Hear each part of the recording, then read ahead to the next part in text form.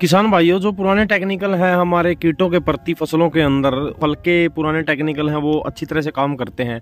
और अगर आप लोग पुराने टेक्निकल को कॉम्बिनेशन में इस्तेमाल करते हैं, तब तो क्या बात है कि रिज़ल्ट आपको बेहतर से बेहतर ही देखने को मिलेंगे अपनी फ़सलों के अंदर। तो किसान भाइयों, इस वीडियो के अंदर हम बात करेंगे एक ऐसे ही प्रोडक्ट जो कि एक बिल्कुल एक अच्छे टेक्निकल का कॉम्बिनेशन है। इस वीडियो के अंदर मैं बात करने वाला हूँ किसान भाइयों सेवन फोल्ड कंपनी के एक प्रोडक्ट सोल्जर के बारे में, जो कि एक बहुत ही अच्छे टेक्निकल का कॉम्बिनेशन है। इस वीडियो के अंदर मैं आपको बताऊँगा कौन कौन से टेक्निकल का कॉम्बिनेशन है कौन सी फ़सलों के अंदर इसका इस्तेमाल कर सकते हैं, क्या ये काम करती है और कौन कौन से किट को ये कंट्रोल करती है। तो ये तमाम तरह की जानकारी आपको इस वीडियो के अंदर मिलने वाली है। आपको क्या करना है वीडियो को पूरा देखना है। चैनल पर अगर पहली बार आए हैं तो चैनल को लीजिए सब्सक्राइब तो चलिए किसान भाई वीडियो शुरू करते हैं। तो नमस्कार किसान भाइयों, मैं आपका दोस्त रामेहर और स्वागत करता हूँ आपका नई वीडियो में। किसान भाई, इस वीडियो के अंदर हम बात कर रहे हैं सेवन फोल्ड कंपनी के एक प्रोडक्ट सोल्जर के बारे में। जी हाँ किसान भाइयों, जैसा इसका नाम है सोल्जर, वैसा ही ये काम करता है हमारी फ़सलों के अंदर। कीटों को कंट्रोल करने का काम करता है हमारी फ़सलों के अंदर। किसान भाइयों, बात करें इसके अंदर टेक्निकल की तो इमामैक्टिन बेंजुएट एक पॉइंट पाँच परसेंट फिप्रोनिल तीन पॉइंट पाँच। एस फॉर्मुलेशन में होता है किसान भाइयों, जो कि एक गाढ़े तरल फॉर्मुलेशन में होता है।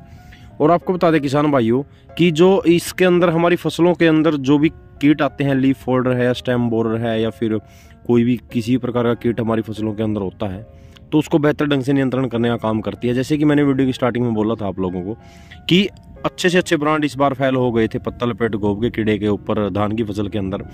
तो वहाँ पे क्या क्या किया था, जो पुराने टेक्निकल है और जो कॉम्बिनेशन करके जिन्होंने इस्तेमाल किए थे, काफ़ी अच्छे दमदार रिज़ल्ट उनको देखने को मिले थे। तो किसान भाई इसकी फ़सलों की बात करें तो हर फ़सल के अंदर आप लोग इस्तेमाल कर सकते हैं सोल्जर का। फिर चाहे वो कोई भी फ़सल हो, सब्ज़ी वर्गीय फ़सल हो, अनाज वर्गीय फ़सल हो या फिर दलहनी फ़सलें हो, कोई भी फ़सल हो, हर फ़सल के अंदर आप लोग सोल्जर का इस्तेमाल कर सकते हैं कीटों की रोकथाम के लिए। किसान भाई वहीं पर बात आती है इसकी डोज की तो सौ एम प्रति एकड़ के हिसाब से आपको अपनी फ़सलों के अंदर कीटों की रोकथाम के लिए सोल्जर का इस्तेमाल करना है, जो कि लगभग 200 लीटर पानी के अंदर आपको स्प्रे के रूप में इसका छिड़काव कर देना है अपनी फ़सल के अंदर। कोई भी फ़सल हो, उसके अंदर।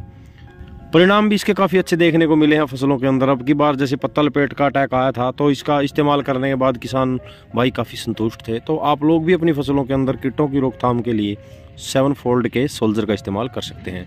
तो यही सब था किसान भाइयों सेवन फोल्ड कंपनी के प्रोडक्ट सोल्जर के बारे में। तो मेरे ख्याल से जानकारी आपको समझ में आ गई होगी। जानकारी अगर आपको अच्छी लगी तो वीडियो को लाइक कर दीजिएगा, अपने किसान में इस जानकारी को शेयर ज़रूर कीजिएगा।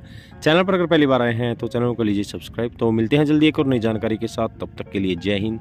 जय भारत।